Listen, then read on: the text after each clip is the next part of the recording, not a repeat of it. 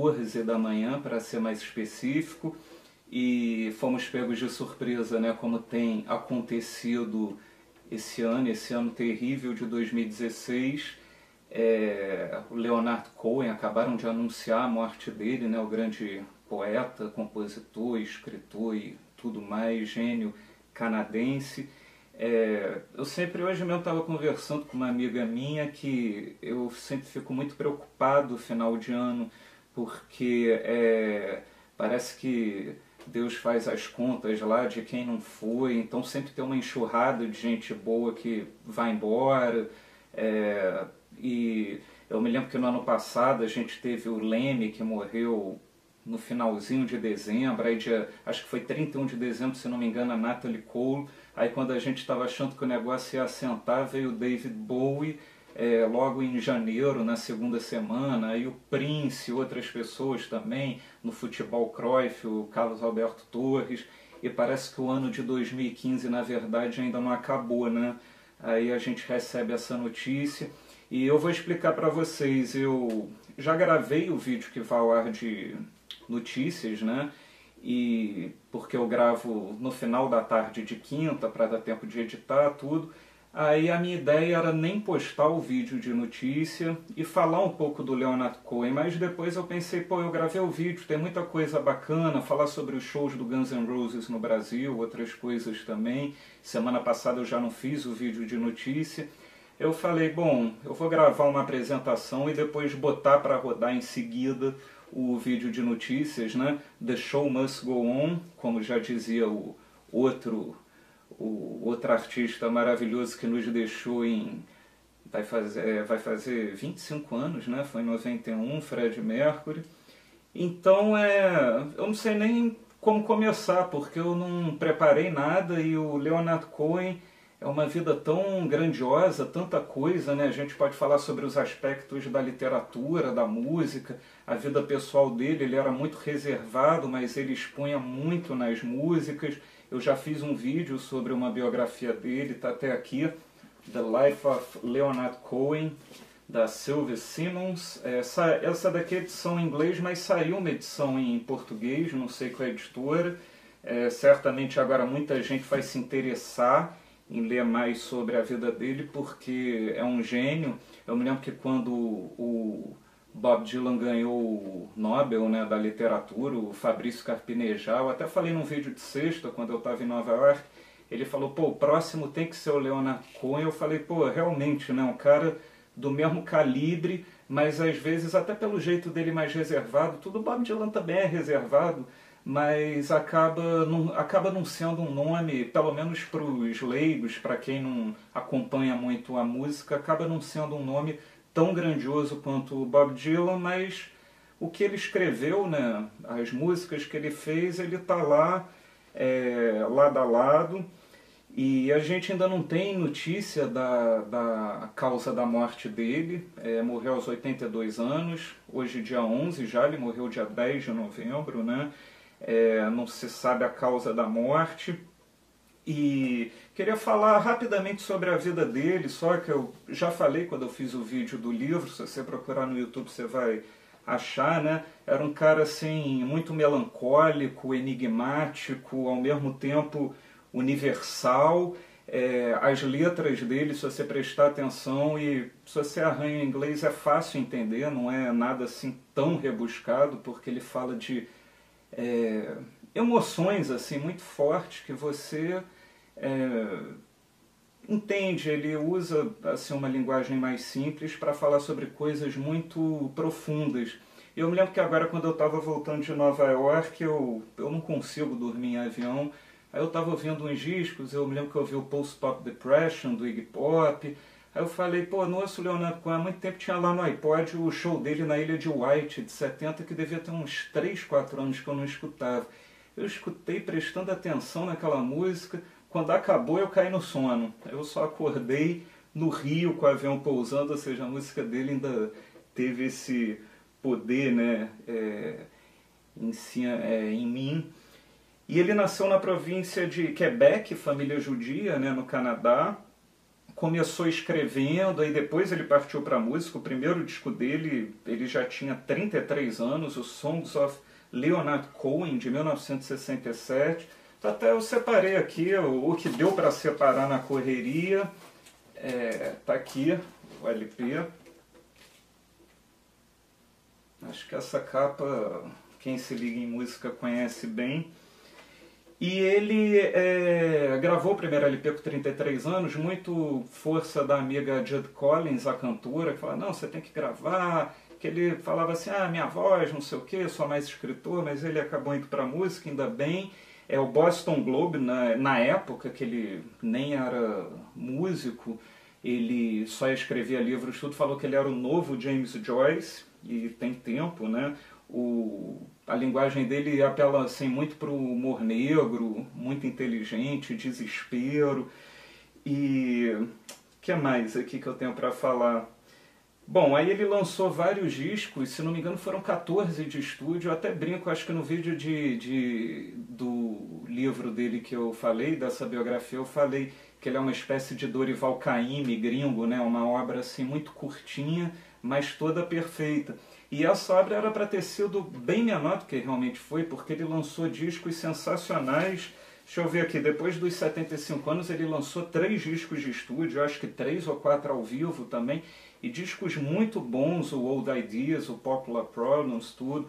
Tem um disco ao vivo também que eu gosto muito, que é o Live in London, isso aqui é um LP triplo, gravado na O2 Arena, 17 de julho de 2008 e é importante falar esse ano de 2008 porque ele estava recluso, num, num é, vivendo lá num mosteiro budista ou coisa do tipo, ele descobriu que ele estava falido, porque a empresária dele, que também era namorado, ex-namorada, não sei, tinha pego todo o dinheiro dele, ele ficou assim, ele falou, pô, vou dar uns shows então para para acertar minha conta bancária eu poder viver minha velhice em paz, né? Só que esses shows se transformaram em cerca de 250 shows, ele tomou gosto pela coisa, e não eram shows comuns, eram shows assim de três horas, três horas e meia de duração com intervalo. Em 2009 ele chegou a desmaiar no palco, mas isso não, não o impediu de uma semana depois ele estar tá no Palestra no Jordina, é o grande ginásio de Barcelona, que foi usado nas Olimpíadas de 92,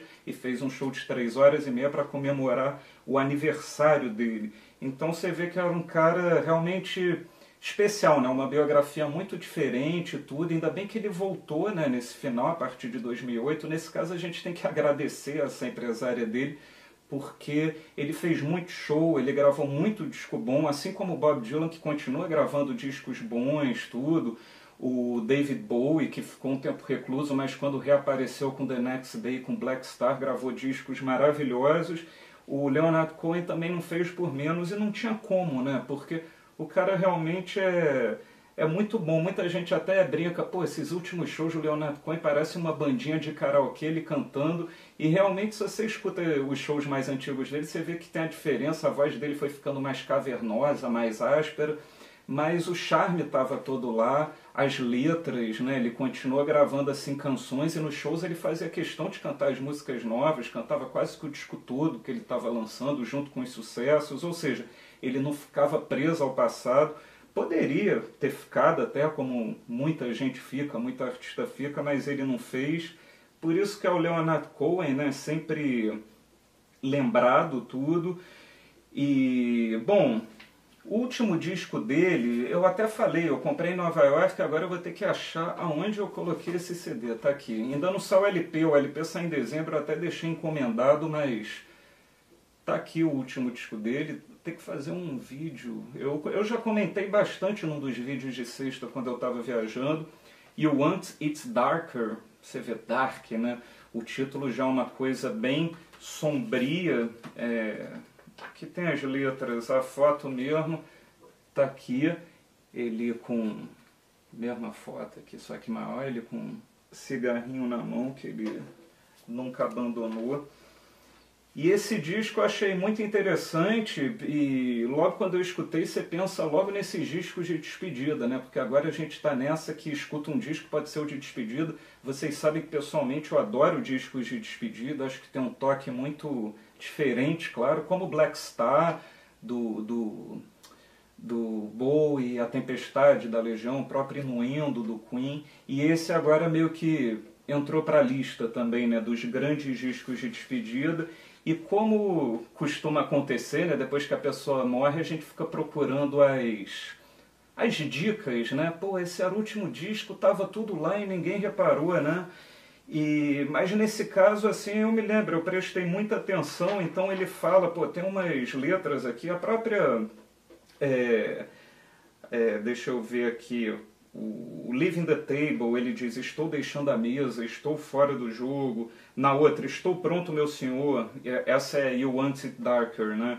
Então, e a voz também ainda estava mais pesada, você sentia que tinha uma coisa esquisita lá, mas no fundo a gente não quer é, é, enxergar muito essas coisas, né?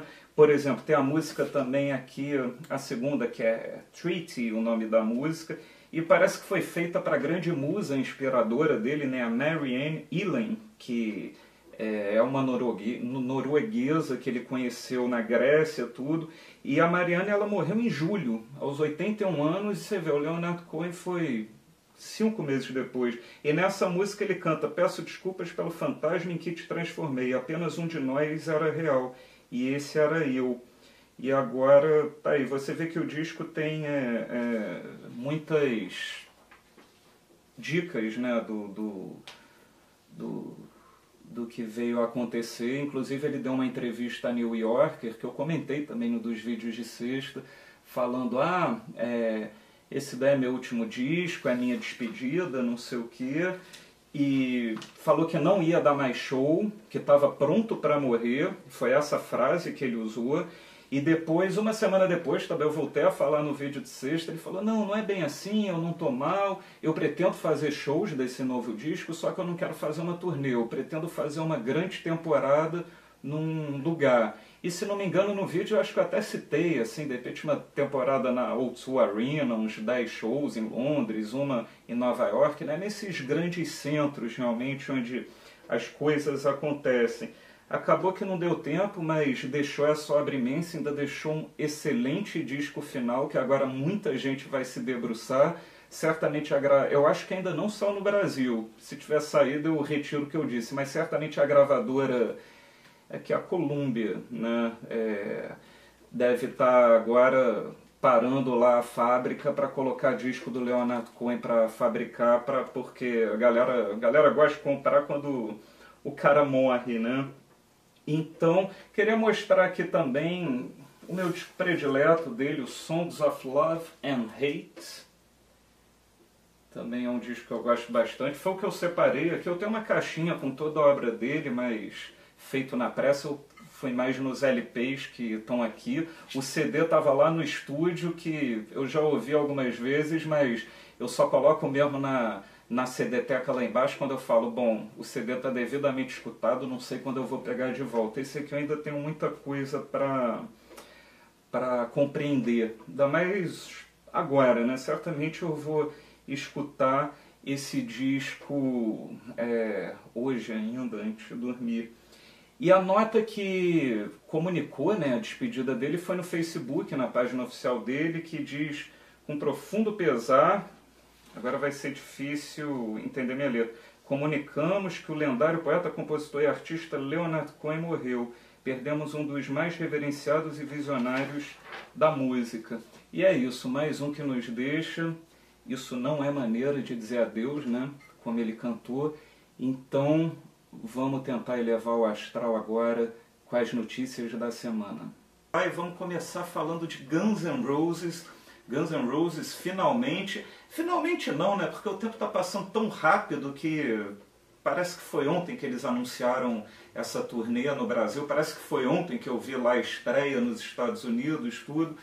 E eles fizeram um show em Porto Alegre os vídeos de sexta, vocês, vocês sabem, eu gravo quinta, mais para o final da tarde tudo. Então, é, hoje vai rolar um show no, no Allianz Parque, lá no belíssimo estádio do Palmeiras em São Paulo, não sei como vai ser, espero que corra tudo bem. O de Porto Alegre, pelo que eu andei lendo, foi super bacana, não decepcionou, rolava muito aquele medo do pô, eles estrearam bem, fizeram shows bons, mas será que essa vibe vai continuar no decorrer da turnê? E pelo jeito está continuando, o pessoal super profissional, parece que o show de Porto Alegre só atrasou 23 minutos, né? Quem assistiu algum outro show mais recente do Guns N' Roses no Brasil sabe o que, que acontece. É, atrasos de três horas, não sei o que, mas agora o negócio está bom. O repertório basicamente o mesmo, para não dizer que é o mesmo, não muitas surpresas com relação ao a estreia da turnê que eu vi. Acredito que agora a banda esteja mais entrosada. O show que eu vi, inclusive, o Axel estava sentado no trono do Dave Grohl, porque ele estava com a perna quebrada, tudo. Tivemos surpresas antes do show em Porto Alegre. O Steven Adler participou do show em Buenos Aires. Não sei se ele vai participar de mais algum show na turnê brasileira. Tomara que sim. É... Tomara que seja muito legal. Eu não vou ao show, nenhum show aqui no Brasil. O Biofava é o show do Rio. De repente vocês vão encontrar ele lá, quem for do Rio. É, eu estava até pensando de repente, se vocês quiserem, se vocês aprovarem, fazer um conversa de botequim com o Biofá no sábado, sem ser amanhã no outro, falando sobre o show. Eu não vou ao show do Rio, mas eu fui é, em Las Vegas, então a gente pode bater um papo sobre esse retorno do Guns N' Roses, é, se vocês quiserem. Vocês podem mandar perguntas, fazer algum comentário. Quem assistiu o show, o que, que achou, não sei o que. Quem assistiu shows mais antigos.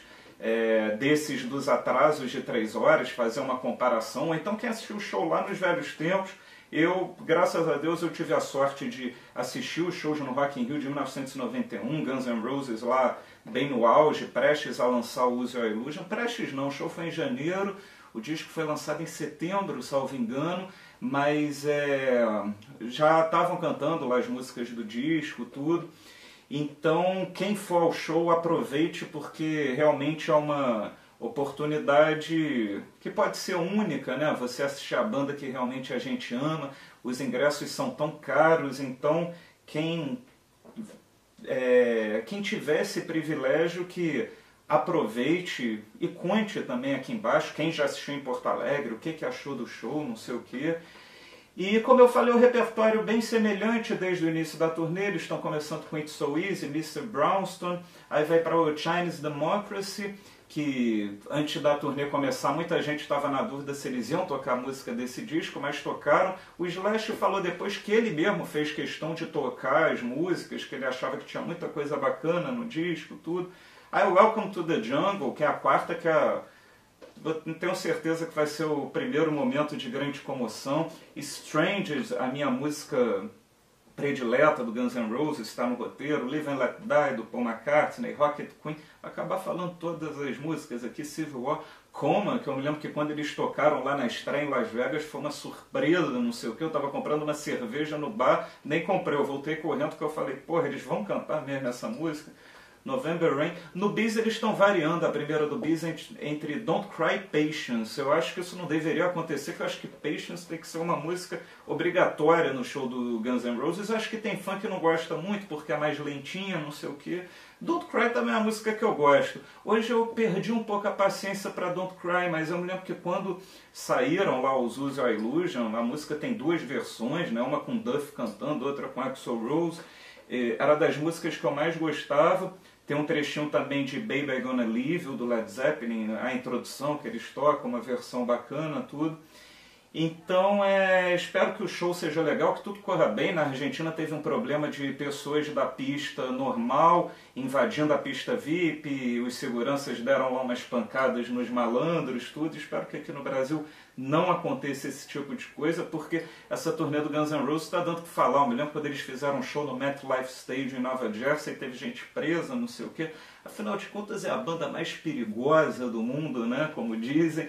Então, Not in This Lifetime. E eu estava aqui checando as exigências do Guns N' Roses, pelo menos para o show, é, para é, para o show em Porto Alegre.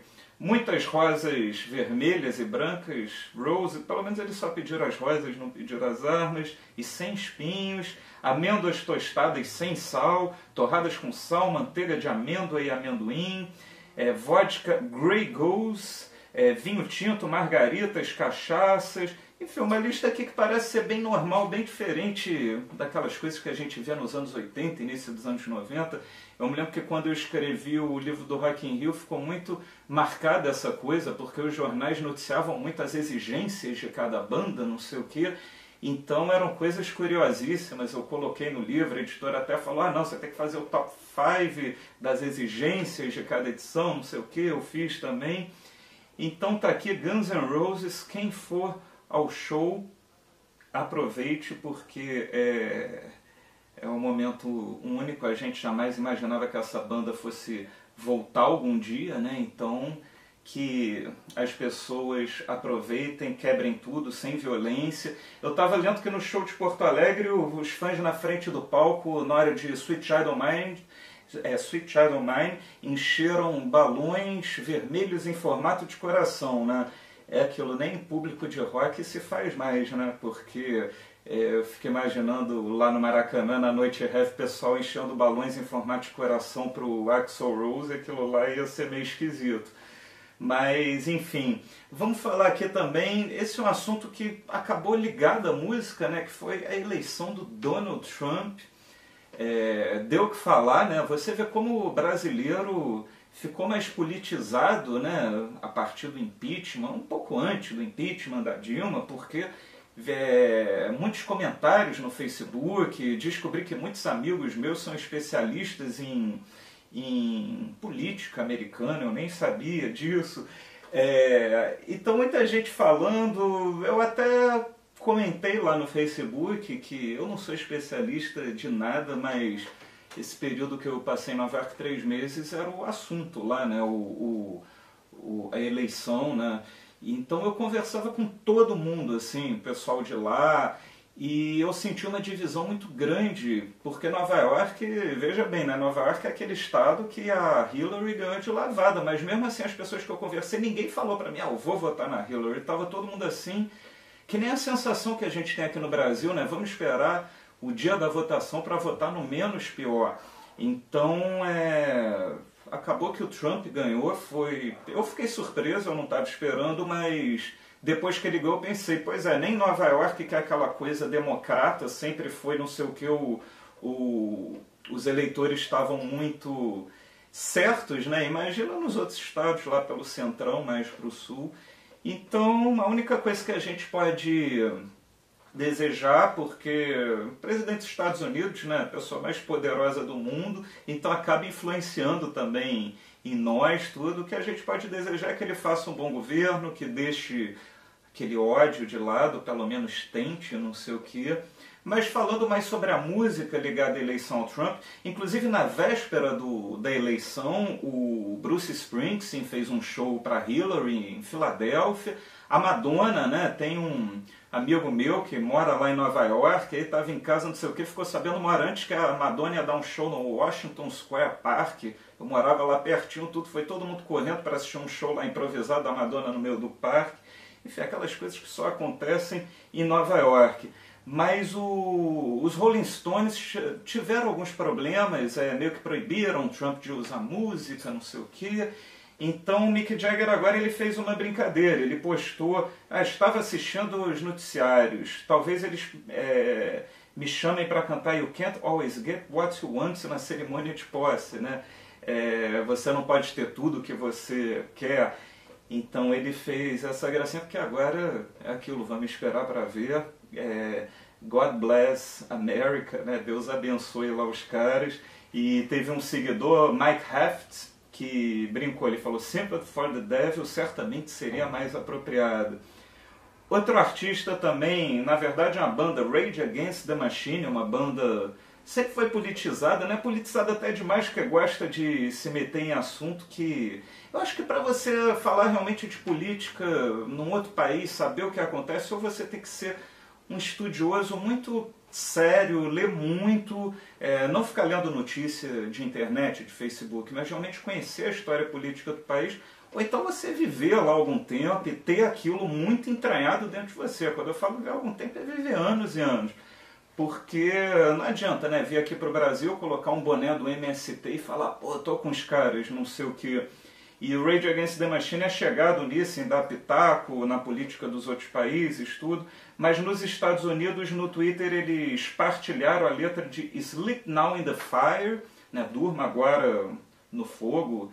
E esse vídeo eles fizeram um print screen porque surge um manifestante durante um vídeo com cartaz que diz Trump para presidente. E é curioso que depois que o Trump foi eleito surgiu muita coisa disso, né? Os Simpsons também. E a gente pensa, né? Nada é coincidência, nada é por acaso. Se isso aconteceu é porque realmente já devia ter. É aquilo que eu falo, você tem que estudar muito viver lá, porque aqui a gente fica surpreso. Cara, o Trump presidente, mas de repente lá já era uma coisa por exemplo, Silvio Santos, ele até se candidatou né, na eleição lá que o Collor ganhou, a, eleição, a candidatura dele acabou sendo impugnada, e hoje o Silvio Santos já está coroa demais. Mas, por exemplo, eu acho que não seria uma grande surpresa amanhã o Silvio Santos se candidatar a presidente do Brasil. Seria surpresa pela idade dele, né? Mas, tirando a idade, acho que não seria surpresa. E, de repente, aos olhos do mundo, seria uma grande surpresa. Caramba, o apresentador de TV vai ser presidente do Brasil. Então, acho que o Trump foi mais ou menos isso que aconteceu. Era uma coisa que não era tão assim, caramba, que maluquice. Tanto que o cara se candidatou, ganhou. Nosso diretor, que não está aqui, sempre falava, ah, não a, essa eleição do Trump, isso daí é, é, como é que se diz, é marketing, não vai dar em nada, não vai nem ser candidato. Acabou que foi candidato pelo Partido Republicano e ganhou, né? Francisco fez até um vídeo sobre isso. E que mais sobre o Trump? Courtney Love. Courtney Love ela falou que ia comprar ações de tijolos, né? Numa referência lá aquele negócio do Trump de construir um muro é, na fronteira dos Estados Unidos com o México. Aliás, o Roger Waters gosta tanto de cantar o The Wall, aquela turnê, pô, espero que ele não tenha a ideia de ficar mais cinco anos agora rodando. Ah, tive um, uma nova visão sobre o The Wall com a eleição do Trump, não sei o que. Espero que isso não aconteça, porque ele está gravando disco novo, vai estrear uma turnê ano que vem, então que o Roger Waters fique lá é, é, quietinho. E a Courtney Love ela estava resignada, ela falou que o Trump ganhou justamente, justamente entre aspas mesmo, e creio que sim, bendito, boa noite. E Lady Gaga também, estava até com o CD dela, que ela está aqui. Eu vou fazer um vídeo sobre esse disco, mas adianto que eu gostei de muita coisa que me surpreendeu bastante. É, ela falou sobre a vitória do Trump para a América rezar. É, ela escreveu isso no Twitter e também é no dia que o Trump foi eleito, ela foi em frente, acho que é o prédio, a Trump Tower lá em Nova York, com falando que o ódio tinha vencido o amor, algo do tipo, não sei o que. E ela falou que ainda tem muita esperança, lutem pela empatia, pela igualdade, pelo amor. É, tá uma coisa, tá um luto, né, se você pensar. Eu não costumo ser otimista não, mas se a gente não for otimista vai ficar 4, 8 anos assim, é complicado. E System of a Down, agora vamos parar de falar do Trump.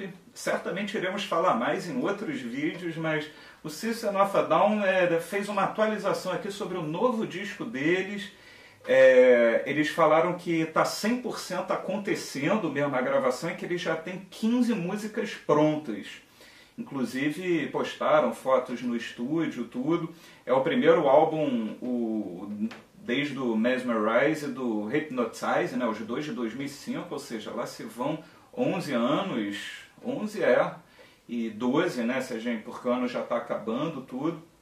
E eles falaram que estão trabalhando, falaram a Kerrang, é, que estão trabalhando nos últimos seis meses, tem 15 músicas que podem fazer valer o álbum, tudo. Não sabe o que está acontecendo em termos de lançamento, quando vai ser, mas fala que está tudo caminhando de uma forma é, muito tranquila, como eles imaginavam, né?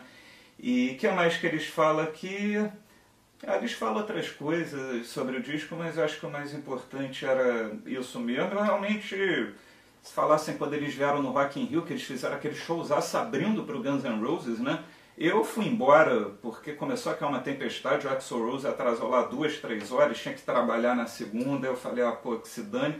E não me arrependi que eu liguei a TV quando cheguei em casa e falei, pô, me livrei de uma boa. Na verdade, eu ouvi algumas músicas do Guns N' Roses lá, de repente as cinco primeiras, mas não vi o show completo, estava muito ruim e na TV eu vi ele cantando eu falei, caceta, ainda bem que eu não participei disso. E do System of a Down só uma lista das celebridades inglesas mais ricas com menos de 30 anos. E a Adele, não podia ser diferente, está em primeiro lugar. Ela está com uma fortuna de 102 milhões de euros, o que corresponde mais ou menos a 375 milhões de reais. Imagina ter isso na conta bancária. Ela está trabalhando pra cacete, né? Lançou um disco, fez um show, é, assistiu o show da turnê, foi melhor do que eu esperava. Ela conversa muito com o público, mas é, eu acho que o show poderia ser mais orgânico, tudo, mas mesmo assim não dá para falar que foi um show ruim. Ela canta realmente muito bem. O Daniel Radcliffe, né, não é do nosso meio aqui da música, está em segundo, 82 milhões. O Ed Sheeran em terceiro, com 50 milhões. E na lista ainda aparece o Zayn Malik, acho que é assim que fala, é, que do One Direction, que também está na lista aqui, com 42 milhões. Ele está em quarto lugar depois do Ed Sheeran. É curioso que eu não conheço mais ninguém dessa lista aqui. Acho que a galera. Estou precisando me atualizar com as celebridades britânicas. E por falar em celebridade, né? Bon Jovi. Bon Jovi deu uma espetadinha aí. O Bon Jovi está prestes a lançar um disco novo. Eu não sei exatamente o dia que sai. E ele deu uma cutucada no Hit Sambora. Deve ter muita mágoa nisso, né? Estão falando aí que o Bon Jovi vem para o Rock in Rio, mas a produção do Rock in Rio já desmentiu, não sei o quê. É, acho que não é mais Bon Jovi, né? Agora pode ser John Bon Jovi, porque o último Rock in Rio, Hit Sambora não veio, já tinha saído, o Tico Torres teve um problema de saúde e tudo. E ele falou, John Bon Jovi, à revista Billboard, ele disse, o Hit participava na feitura dos discos, mas era sempre eu, o guitarrista John Shanks juntos, depois o Rich, depois o David Bryan, o tecladista, e o baterista Tico Torres. Ele falou, David preencheu, David Bryan preencheu o vazio deixado pelo Rich e assumiu um novo papel de liderança no estúdio, o que foi bem-vindo. O disco novo, This House is Not For Sale, e o John Bon Jovi diz, o trabalho não podia ser mais pessoal, sou eu a bater no peito e a dizer, a minha integridade não vai ser comprometida. É o que eu falo, deveria ser John Bon Jovi, não mais Bon Jovi, né? Eu acho que o John Bon Jovi já segue uma carreira solo há muito tempo, assim. Para mim é como se fosse o frejar, de repente, com mais um ou dois integrantes do Barão original no palco tocando as músicas lá meio solo, não sei o quê, porque aquele Bon Jovi que realmente eu conheci lá nos anos 80 e que para mim é o Bon Jovi bom, para mim o Bon Jovi bom vai até o Keep the Faith, né, início dos anos 90. Se você for um show do Bon Jovi hoje, você não vai ver isso, você vai ver resquícios, alguma concessão ou outra que ele vai fazer.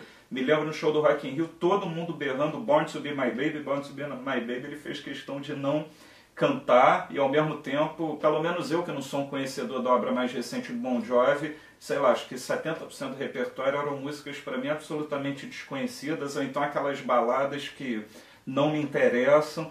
Então é. Mas vamos ver, né? O disco do Bon Jovi sai, a gente ouve, certamente eu vou fazer um vídeo, nem que seja para falar mal, para os fãs do Bon Jovi desejar a minha morte por câncer de preferência, né? Porque quando eu falo mal de alguma coisa, essa é a primeira coisa que os fãs falam.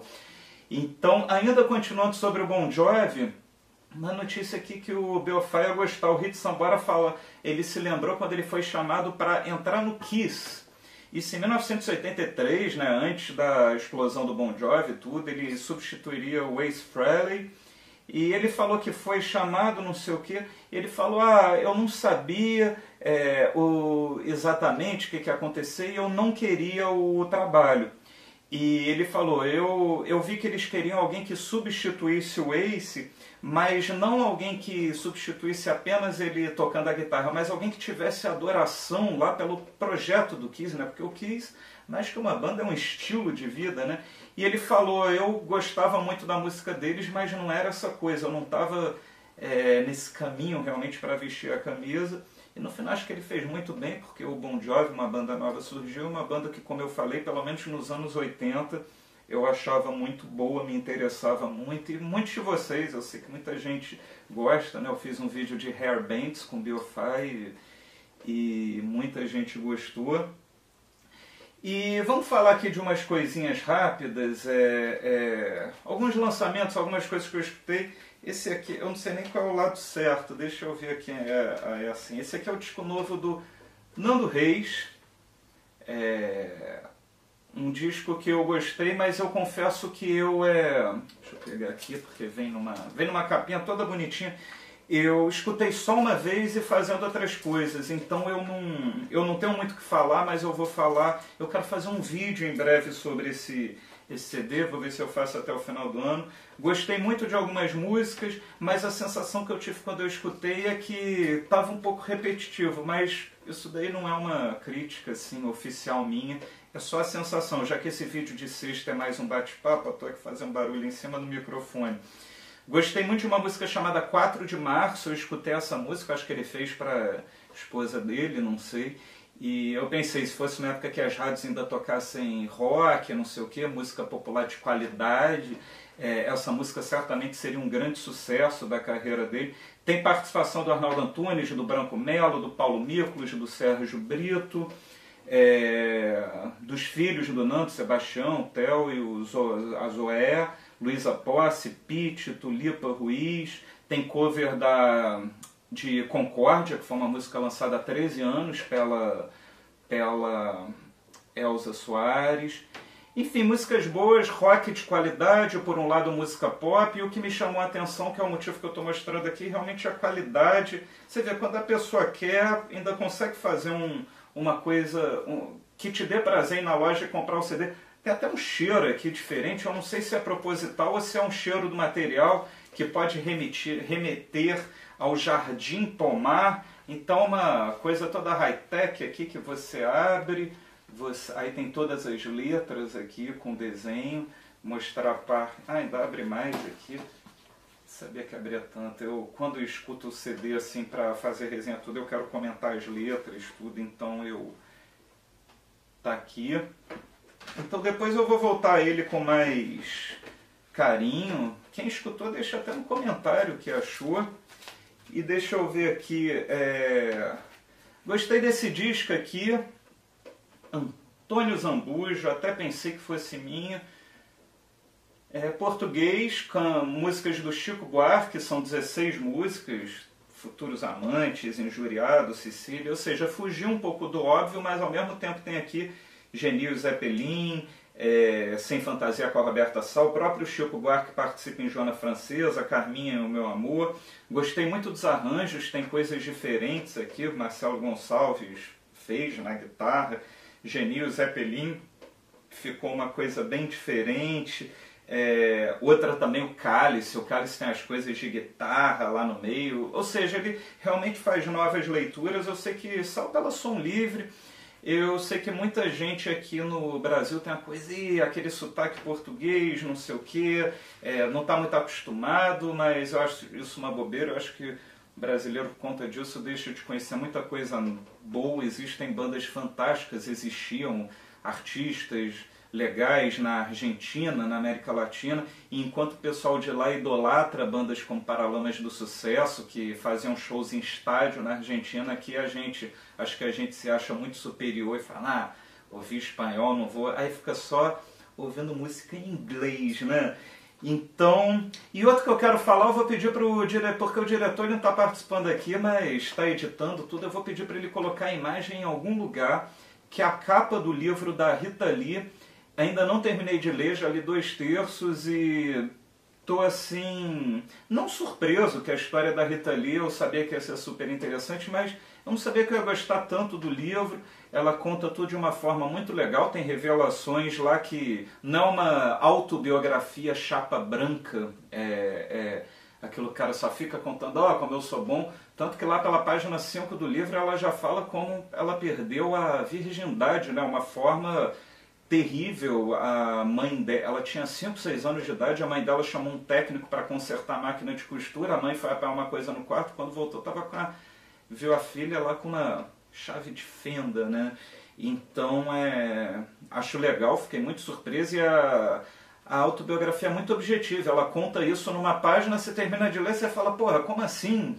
Sabe? Então, E ela também fala sobre o papel dos mutantes. Ela fala, ó, pessoal aí, os críticos, ah, os mutantes são demais, não sei o quê. Não é bem assim não. Se for pegar as músicas boas, realmente dá para preencher é, só um disco, tem muita coisa. Ela fala que entende a importância, a revolução, entre aspas, dos mutantes tudo, mas ela fala que. É, não, não é que desmereça, mas ela meio que. Achei interessante o pensamento dela de. com a retrospectiva, né, pensar dessa forma. Então é, eu recomendo vivamente, ela fala muito sobre os mutantes, vai disco a disco, aquela autobiografia, tipo como eu falei do Bruce Springsteen, acho que duas ou três semanas atrás, que realmente é, não é aquilo tipo a do Sting, que o cara começa a viajar lá, do Neil Young, que fica 80% falando sobre o trenzinho elétrico dele, sabe, sobre os carros que ele gosta de colecionar, realmente ela fala sobre o que o fã quer saber. Então é, eu achei que eu acho que vale a pena a leitura, mesmo que você não seja muito fã da Rita Lee, mas goste de ler sobre música, eu acho bem bacana. E assisti essa semana o show dos Paralamas do Sucesso no Circo Voador, até postei no Facebook, que para mim é a maior banda do Brasil. O brasileiro tem um problema muito sério, né? Se você não, se ele não concorda com a tua opinião, ele briga contigo, ele diz que você é um merda, que não sei o quê realmente tem pessoas assim que são muito difíceis, são muito idiotas, muito burras, sabe? É, aí fala, ah, o rap é melhor. Então eu respondo, tá, cara, você me convenceu, o rap é melhor, você acha o rap melhor, cara, parabéns, você acha o Fresno melhor, parabéns, o Capital Inicial. Mas, pô, deixa eu achar a minha banda predileta sem encher a porra do meu saco. É, o pessoal tem muita dificuldade também com o top 5 que eu faço. Ah, o teu top 5 é muito fraco, não sei o quê. Pô, então me mostra o oficial. Tipo, pô, é aquilo ao mesmo tempo que a gente encontra pessoas tão legais no canal, na internet, vou te falar, a gente encontra uns débeis mentais que a gente preferia nem encontrar pela frente. Ainda bem que não são meus amigos pessoais. E o show dos Paralamas eu gostei muito, foi o Paralamas Trio. Eu acredito que tenha sido a primeira vez que eu vi os Paralamas Trio. Eles começaram com muitas músicas do Passo do Lui, que acho que é o segundo disco deles que eu mais gosto. O primeiro é Os Grãos. Dos Grãos eles cantaram a Rosa e o Rouxinol, que é uma música que eu só escutei na estreia da turnê, né, do, do, dos Grãos, pô, no Canecão, num sábado à noite, em 1991 ou 2, não me lembro, que eles começaram com sábado show. Então, é, gostei do show, mas eu acho que poderia ter sido mais pancada. Na segunda metade do show, eles começaram a cantar Cuide Bem do Seu Amor, Seguindo Estrelas. Músicas boas do, do Longo Caminho, mas acho que perdeu aquela vibe mais dos anos 80, mais pancada, que era o que o público do Circo pelo menos as pessoas que eu vi lá, que eu bati um papo tudo, estavam esperando. Mas achei muito legal, mas ó, os Paralamas estão devendo um, alguma coisa inédita, né? Porque essa turnê de 30 anos começou, acho que ficou aí uns três anos de turnê, agora é a turnê do trio, também é uma turnê retrospectiva. Acho que os Paralamas estão precisando lançar um disco novo. Os Paralamas, na minha opinião, nunca lançaram um disco ruim. Acho que todos os discos lá, cada um tem uma estética muito definida, muito interessante. Mas acho que está na hora de mostrar música nova, até mesmo porque eles têm lenha para queimar, né? O Herbert estava tocando pra cacete, o Baroni nem se fala, o B também. Realmente eu acho que no mundo fica difícil imaginar trio tão entrosado quanto. Eu acho que existe, Rush, não sei o que, mas você vê três caras no palco lá brincando e fazendo tudo certinho. Então foi bem bacana, Paralamas no Circo. Agora em dezembro vai ter a Legião, né? Parece que eles vão encerrar essa turnê de 30 anos lá no circo. E por falar em show, vamos falar de um lugar mais distante do circo, que é Paris. O Sting vai reabrir o, Bataclan eu nem sabia que o Bataclan estava fechado até hoje, fiquei surpreso, os ingressos esgotaram em, sei lá, acho que em 3 minutos, ele está lançando o disco novo, acho que sai hoje, sai hoje, de 11 de novembro, o disco novo dele. É, o Pete Doherty, né, do, do Libertines, ele vai fazer shows também logo depois, acho que são quatro shows que eles vão fazer, e o Sting vai tocar no dia 12, é 12 de, 12 de novembro, né, não é amanhã, vai ser num num sábado lá no, no, no Bataclan. E, pô, fica aquela pergunta, né? Você iria à reabertura Bataclan? Eu, eu tive a oportunidade de conversar com franceses, fiz colegas franceses nessa temporada que eu passei fora, E eu fiquei muito impressionado e muito chocado e triste, porque o papo do Bataclan sempre vinha à tona, depois o atentado lá em Nice também. E aí eu perguntava, e aí, o que, que vocês pensam? Porque. E mundo fala, a gente só está esperando o próximo, o próximo atentado, porque eles realmente, você sente um pessoal, inclusive um colega que eu conheci lá, ele perdeu o primo no Bataclan, então o Xing vai, é o Fifth, Seventh and Ninth, o disco que sai hoje realmente. Então ele vai reabrir o Bataclan, queria falar sobre, sobre esse evento. E também falando sobre o Bataclan, vou até mudar de ordem aqui, o Eagles of Death Metal vai lançar um, um documentário sobre a experiência deles, né? Foi durante o show do Eagles of Death Metal que teve o atentado, que um bando de gente morreu lá tudo. E vai se chamar Eagles of Death Metal Nos Amis. Eu não falo francês, que se chama, acho que, é, eu acho que traduzindo Nossos Amigos. Vai ser transmitido pela HBO em fevereiro de 2017. E é o Colin Hanks que está produzindo, está idealizando isso. O Colin Hanks é filho do Tom Hanks. E o documentário mostra a superação da banda depois de tudo isso, como eles prosseguiram a vida deles. Realmente imagino o trauma, né? A relação do Josh Homme com Jess Hughes, né? Da banda. E o Hanks fala, é um filme sobre dar aquele primeiro passo de forma a pôr a vida nos eixos. E foi no dia 13 de novembro o, o, os atentados. É... Enfim, depois disso eles tocaram no Brasil, né? Eles tocaram Lollapalooza, é uma banda que eu gosto, o CD deles é bem interessante. Então, tô curioso para ver esse documentário. Acho que vai ser dolorido, né? Outro dia eu vi um documentário sobre 11 de setembro. É impressionante como aquilo foi uma coisa forte mesmo. E vamos do baixo astral para o alto astral. The Kinks quem diria, parece que vai ter uma reunião. O Ray Davis está analisando com isso. Ele disse ao The Sun que os Kinks, ele e o irmão Dave Davis, vão voltar a trabalhar juntos. Eles se separaram em 1996, depois de quase mais de 30 anos de carreira, e eles estão sendo cotados para a próxima edição do Glastonbury. Acho que seria antológico, né? uma volta da banda exatamente para fechar uma noite de Glastonbury, no mínimo fechar, né? E o Ray Davis falou, queremos voltar a tocar ao vivo, talvez os Kinks possam tocar em Glastonbury. E ou seja, vamos torcer aí para isso acontecer. Outro dia eu citei The Kinks, foi num vídeo de sexta, alguma data, não sei o que, e muita gente falou, nossa, eu amo The Kinks, você tem que fazer um vídeo. Eu acho que até hoje eu não fiz um vídeo sobre The Kinks mesmo e tenho essa dívida e tenho que fazer. E já que a gente está falando de The Kinks, vamos falar de The Smiths. Johnny Marr. Johnny Marr lançou a, a autobiografia dele, já baixei no Kindle, mas ainda não li, né? Tô lendo a da Rita Lee, tô lendo também a do Sócrates lá com a do Casa Grande fez com Giovan Ribeiro sobre o Sócrates. Eu sou flamenguista, mas acima de ser flamengo eu gosto de futebol e eu realmente eu, eu gosto muito da história do Corinthians nos anos 80, Casa Grande, Sócrates, algo que é, fala muito sobre músico, livro, tudo. Então também para quem gosta dessa coisa futebol, música, eu sei que tem muita gente aqui que gosta, fã da ESPN e tudo, então eu também recomendo a leitura. Mas falando do Johnny Marr, é, ele lançou a autobiografia, se chama Set the Boy Free, foi lançado no dia 3.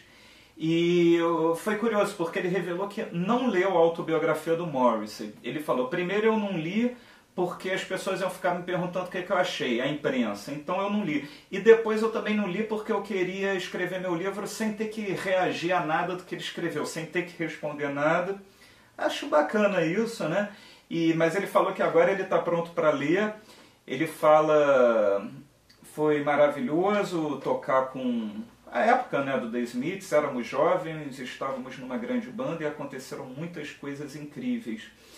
E ele fala na autobiografia dele que em 2008 a banda quase se juntou, ele teve uma reunião com o Morris, eles saíram para comer, não sei o que, e, mas acabou que não aconteceu, que foi uma pena, e agora ele enterra de vez uma possibilidade, a culpa é do Brexit, né, a saída da, da, do Reino Unido da União Europeia, porque o Morrissey apoiou a saída do Reino Unido e o Mar jamais concordou com isso, então ele diz que agora é muito mais difícil, entre aspas. Você vê aquilo que eu estava falando no início do vídeo, né? essa coisa da discussão política que não é só aqui no Brasil, o quanto isso mexeu né, com todo mundo, porque até lá fora você vê, de repente a volta do Smith não vai rolar, não sei o quê, por causa de uma opinião política divergente entre os dois integrantes mais importantes da banda. Enfim, acontece. E ah, antes da próxima notícia eu quero mostrar aqui, ainda não li. Canal Brasil me mandou aqui, eu cheguei de viagem, tinha um bando de presente do Canal Brasil. Tá fechado ainda porque realmente eu não tive tempo. Rogério Skylab, trilogia de carnavais, 25 anos de, é, de carreira ou de lápide. Tá aqui o DVD. Tô vendo que tem participações da Rigo Barnabé, Fausto Fawcett, Tavinho Paz. Eu acho Rogério Skylab realmente uma figura inteligente pra cacete. Conheci ele numa entrevista no Jô, deve ter uns 15 anos, que eu me mijei de rir. E depois, quando eu fui ouvir as músicas dele, eu falei: não, pô, o cara realmente as músicas dele são bacanas. O cara não é um humorista, como eu pensei a princípio. Tá aqui o CD. O CD tem 14 músicas, o DVD tem 22. O Canal Brasil é, Coqueiro Verde, a distribuição. O Canal Brasil realmente está lançando coisas muito legais. Eu vi esse fim de semana, pô, deveria ter Brasil para mostrar. Vou deixar para a semana que vem mostrar o DVD do Marcos Vale, que eu achei muito legal, com a Stacey Kent. E aqui um filme, um livro, 100 melhores filmes brasileiros. Eu adoro, adoro livro assim, de, tô vendo aqui que tem um invasor. Vou abrir aqui aleatoriamente para ver no que, que vai dar, porra, o invasor. Paulo Miklos perseguindo. O invasor está aqui em 33 lugar. Eu vou mostrar aqui porque pô, são textos longos, com imagem. É... Deixa eu abrir aqui. Tropa de Elite 2. Wagner Moura. O... Os fascistas odeiam Wagner Moura. O que mais? Vamos ver aqui é o primeiro lugar. Vamos tirar isso aqui para mostrar a capa direito. Aqui eu estou vendo o Padre a Moça aqui no, no, no, na capa, ou seja, mas o primeiro lugar aqui, Mário Peixoto, pô, será que é limite? Tinha que ser saudades do meu grande professor de cinema na PUC, Pedro Camargo. Pedro Camargo morreu Deve ter uns dois anos já e ele que me apresentou, não tinha a mínima ideia do que era limite. Em segundo lugar, Deus e o Diabo na Terra do Sol. E os textos são escritos cada um por um autor diferente, então muito bacana, recomendo aqui. Não li, mas já recomendo para quem gosta de cinema brasileiro.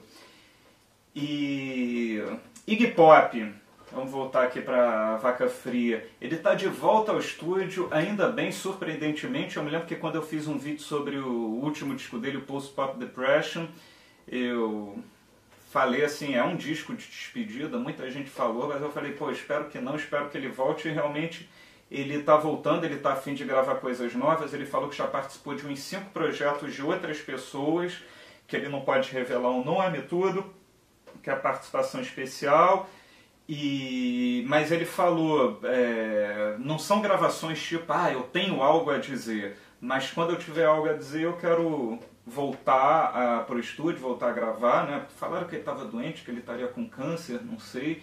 Então espero que ele tenha tempo. Ele falou até na probabilidade de tocar com músicos mais antigos, músicos, músicos que tocaram com ele ao redor da, é, ao longo da carreira dele, os sobreviventes lá do The Studios, tudo. Então vamos esperar alguma coisa boa do Iggy Pop.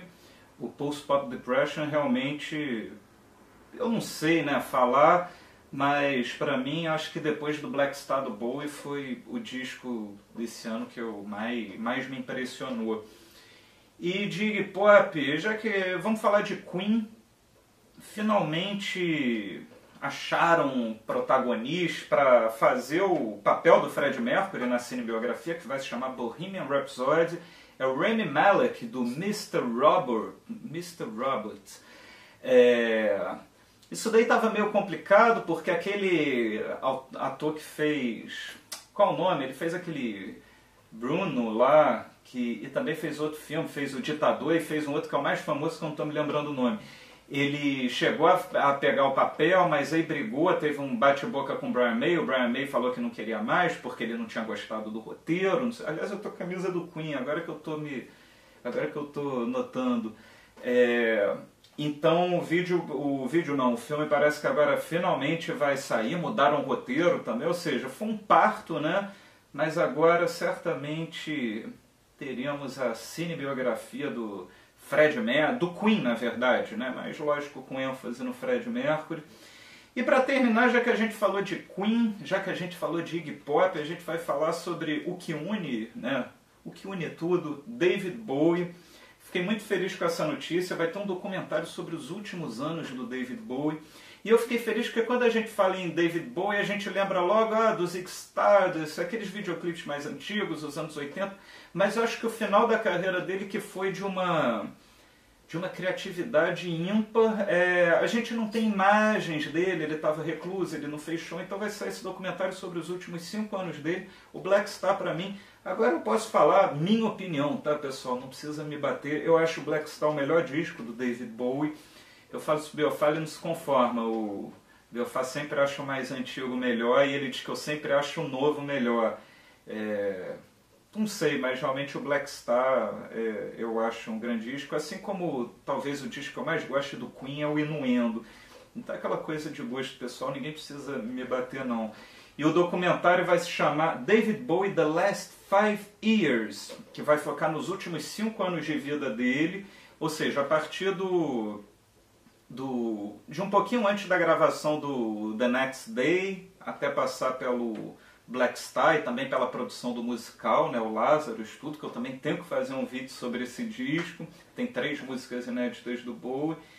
E fala que tem muitas imagens de arquivo que nunca foram apresentadas. Tem uma o último take vocal que o Bowie fez quando gravou o Lazarus.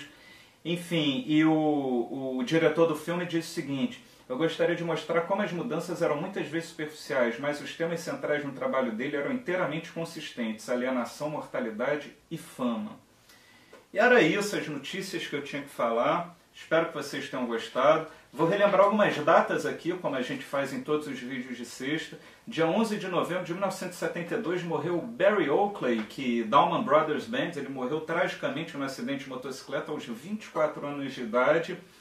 E hoje também está fazendo um ano, parece que foi ontem que morreu o Phil Animal Taylor, batera do Motorhead, ele morreu aos 61 anos de idade, né? O ano passado foi um ano complicado para os fãs do Motorhead. No dia 11 de novembro de 1968 foi lançado o disco Unfinished Music No. 1, Two Virgins, do John Lennon e da Yoko Ono. Foi o primeiro disco né, experimental deles, muito fã nem considera como uma uma, como a carreira solo do John Lennon. Acho que no fundo nem a Yoko Ono considera, porque quando saiu a caixa né, do John Lennon dos discos, ela que ajudou a produzir deixou esses discos experimentais de fora. Eu não gosto muito, sinceramente. Para mim, tem aquela capa dos dois pelados. Para mim, a única coisa realmente desse álbum que ficou foi a capa, porque quem gosta de música se lembra logo, ah, aquela capa com os dois pelados que foi censurada, não sei o quê. Em Beatles ainda, no dia 11 de novembro de 2002, parece que foi ontem que eu comprei esse disco, Paul McCartney lançou o CD duplo ao vivo Back in the US, e só o CD duplo, o DVD, e uma coisa curiosa é que muitos fãs dos Beatles não perdoam o Paul McCartney aconteceu por causa desse lançamento, porque pela primeira e única vez na história o Paul McCartney trocou a ordem a, a ordem dos créditos das músicas do, dos Beatles. O que a gente conhece como Lennon barra McCartney virou Paul McCartney and John Lennon, ou seja, ele colocou o nome dele na frente de John Lennon, muito fã dos Beatles e do Paul, tudo não, não gostou dessa atitude do Paul McCartney. E no dia, terminar com a notícia curiosa, no dia 11 de novembro de 1969, o Jim Morrison era preso mais uma vez por bebedeira pública durante um voo. Ele estava voando para Phoenix para assistir um show dos Rolling Stones Fiquei com pena, será que o Jim Morrison conseguiu assistir esse show, conseguiu se livrar? E é isso que eu tinha para falar hoje, pessoal, dia 11 de novembro. Deixa aqui embaixo, como eu falei no início do vídeo, algo sobre o Guns N' Roses, se você vai ao show, alguma pergunta, se vocês toparem, quiserem, o Biofá a gente vai gravar uma conversa de botequim sobre essa volta do Guns N' Roses, não para eu ar amanhã, mas para eu ar na outra semana, não sei, ou então para eu ar daqui a 15 dias, que seja. E é isso, mande as perguntas. Bom fim de semana, bom feriado, né? Temos um feriado, muita gente vai fazer ponte aí, segunda-feira não vai, vai ficar coçando o saco em casa. Bom show do Guns N' Roses para quem for. Aproveitem porque é uma oportunidade. Quebrem tudo no bom sentido, né? Não é quebrar para ir para a pista VIP, não é quebrar a barreira da pista comum para a pista VIP. Não levem balões